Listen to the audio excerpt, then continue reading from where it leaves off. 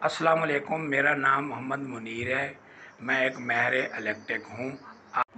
मैं आपको इलेक्ट्रिक के आलात जो घर में इस्तेमाल होते हैं, उनको ठीक करने का तरीका बताऊँगा। तो मेरी इन वीडियो से फ़ायदा उठाने के लिए मेरे चैनल को सब्सक्राइब कर दें और बेल आइकन का बटन दबा दें। इस वीडियो में आपको मैं ये बताऊँगा आपके घर की बेल जो ख़ुद ब खुद बजती है ख़ास कर बारिशों के सीज़न में।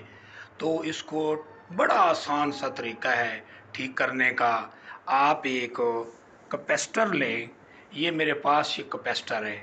इसकी ये दो साइडें हैं, इनकी दो तारें, एक नेगेटिव पॉजिटिव आप उस बेल के ऊपर लगा दें, उनकी दोनों दोनों तारों के ऊपर।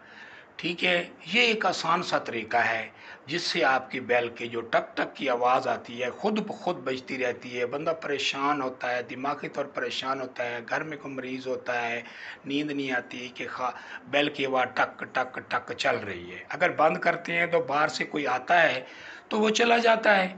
इससे बेहतर है कि आप छोटा सा एक कपिस्टर है टू पॉइंट फाइव का ले लें थ्री पॉइंट फाइव का ले लें, ये लेकर आपको, आप आपके घर में जो पंखे का कैपेसिटर तब्दील कराते हैं, आप उसी को ही इस्तेमाल कर सकते हैं। उसको लेकर उस पर लगा दें और ये आप अपने दोस्तों को भी शेयर करें ताकि दूसरे बंदे भी इससे फ़ायदा उठा सकें।